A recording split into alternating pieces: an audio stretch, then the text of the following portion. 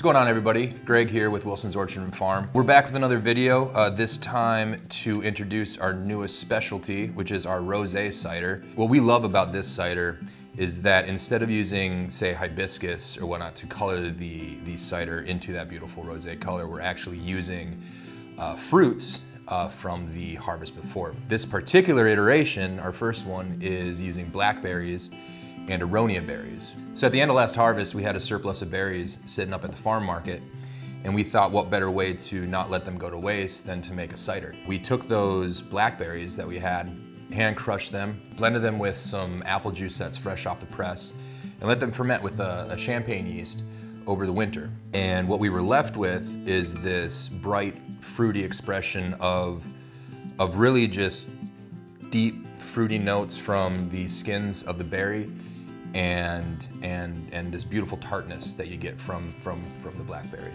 We also use aronia berries from a local farmer following the same process. And that in this cider brings a lot of nice tannin. Your, your palate's gonna get dried out uh, as at the end of this drink. We think it's really important. The sort of ethos that we're trying to live by here is sustainability in, in all things we do. And, and we think taking fruit that we grow here at the orchard, not just the apples, and finding ways to use them in, in, in different avenues to get them to, to you, the end consumer.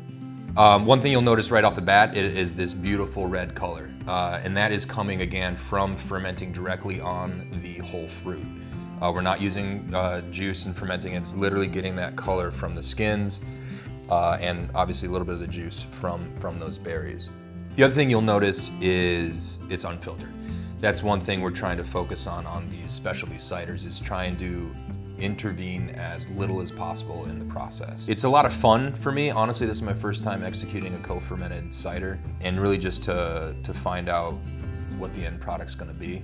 And I think in this particular product, the unfiltered brings you a lot more of that nuance from the berries. Taste-wise, as with most of what I do, uh, I try to make it pretty well balanced. This one with the tartness of the blackberries coming into play, I did end up adding a little bit more apple juice than I do on the, the other specialties. But again, looking for a very balanced drink, uh, you're gonna get punched up front with just truly just berry. Uh, you're gonna get tired of me saying berry, but, but it tastes like berry.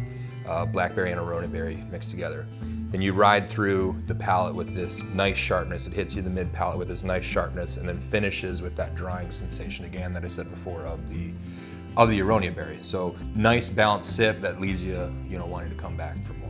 One thing you may not know here at Wilson's Farm, we are planting more diverse crops, which is important to us when we talk about ecological diversity and sustainability. We want to bring more diversity to the land, and that comes with different crops that, that grow harvest at different times. This year we planted red raspberries and blueberries, as many of you know, we, we already have strawberries rolling.